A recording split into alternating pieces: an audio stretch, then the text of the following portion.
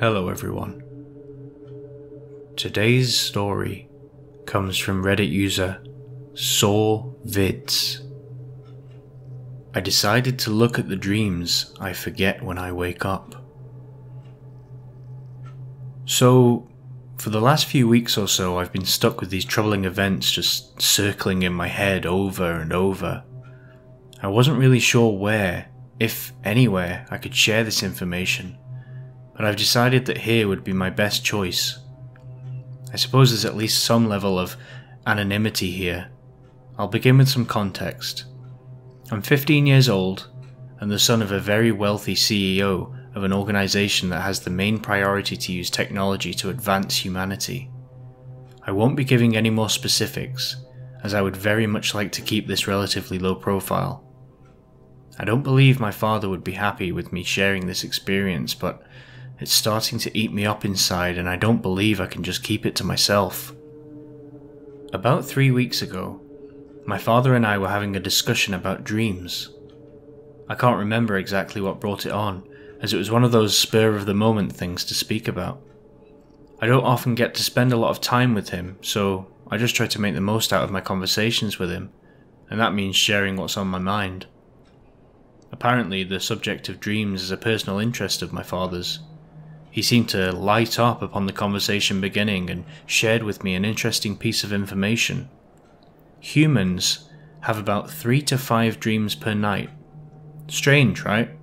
I'm hard pressed to remember one of my dreams, so the possibility that we may have five separate dreams in one night is bizarre to me. When he mentioned this, though, it seemed to have some sort of purpose, because the friendly discussion quickly turned into what felt like an advertisement. He was suddenly explaining to me how his company was attempting to harness the power of creativity that's expressed via dreams. Supposedly, what happens within our dreams are the pinnacle of our imagination, according to him. He eventually proposed a question to me.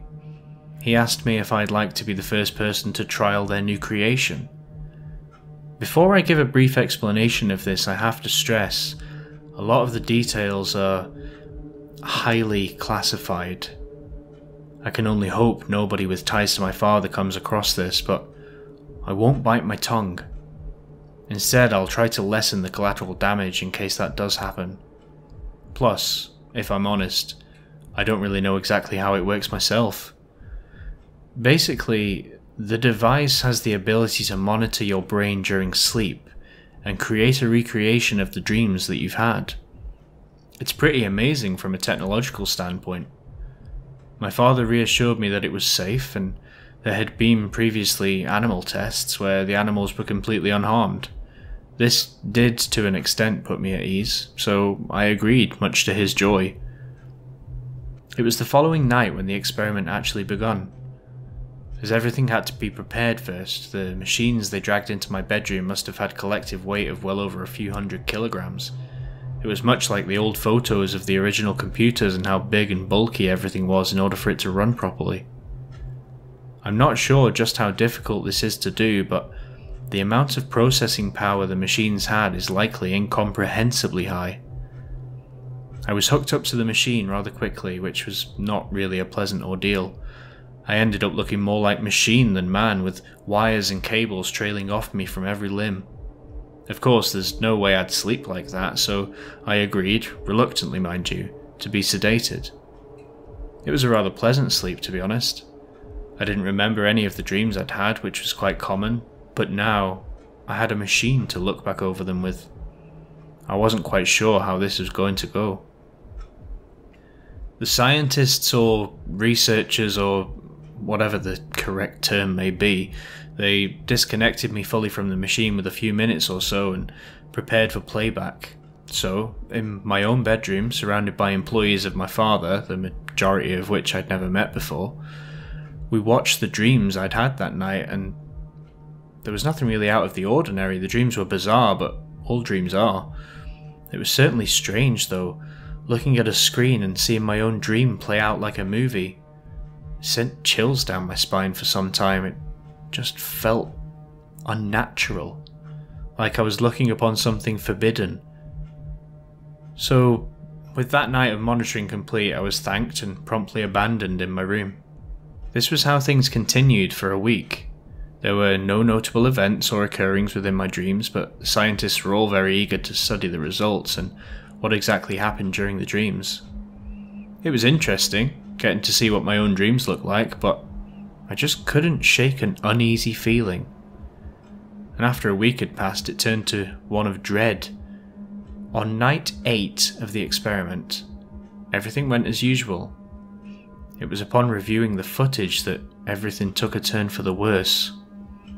It was the third dream, and I remember viewing it vividly, as if I'd done it earlier today. The dream was about myself and a few friends spending time together at an amusement park. However, on all the rides there were no handlebars or protections whatsoever, so some people would randomly go flying off the rides and others would remain on by pure chance, it seemed. This sounds odd, but it was really nothing special. What was the most horrifying part was the figure in the background. During the entire footage, there was the same man in the background. An indistinguishable face, seemingly blurred, black shirt, black trousers, and black shoes. The only defining feature were his eyes, locked directly on the point where we are viewing from all the time. They looked like black, soulless voids. Nobody really noticed him until a few minutes in, and one of the female scientists said something along the lines of, I can't shake the feeling that guy's staring at the screen. That was all it took. An immediate cut to black, which was met by panic from every single one of the researchers. They scrambled to recover the footage, but this was apparently the footage. The cut to black should have happened in my dream. After about 20 eternal seconds of waiting, there was something on the screen again. That same man. And this time, he was the only thing on the screen. Dimly lit, but light enough so he was clearly visible. And he just stood there, shaking his head left to right. A dead silence fell over the room. Colour seemed to have drained from every single one of the researchers' faces. A look of realization, maybe? They quickly switched to the next dream. No use. It was the same man, ominously stood there and shaking his head in almost a threatening way. They switched back to the first and the second dream of the night, and that's where my blood really ran cold. Gone. The only footage was of the same man. In fact, all the footage they'd taken over the past week was completely and utterly corrupted by that man. The researchers packed up all the equipment and left the room without so much as an explanation to me. I've tried speaking to my father about it, but he always says, we'll talk later. Over the past two weeks, though, I've been remembering my dreams more frequently, and I wish I wasn't. The majority of the time, it's just that same man. I don't know who he is. I don't recognize him. I can't even comprehend why I would be dreaming of him. And recently he's adopted a new trait. A smile. A grin, a smirk. One that I do not even like to think about and on the occasion my dream doesn't entail this, I believe it's still him. I'm not proud to admit it, but the other day I actually ended up shedding a few tears over the incident. Before I went to bed, I just remember asking, Why? Why are you always there? into my pillow. And then the dream for that night was different. It was just pure darkness and yet I could feel somebody there with me.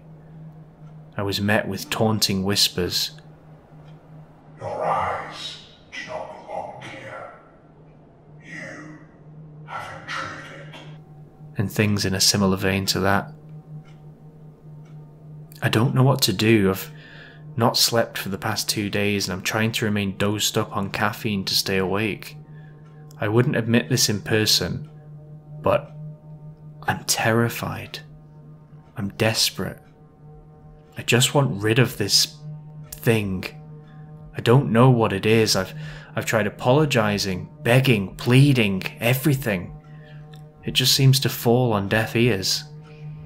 Whatever this is and whoever this man is, I don't really care. I just want my dreams back.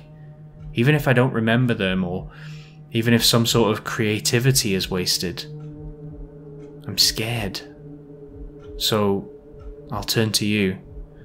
Because my father's being dismissive and I haven't seen my mother in years, but I doubt she'd care wherever she is.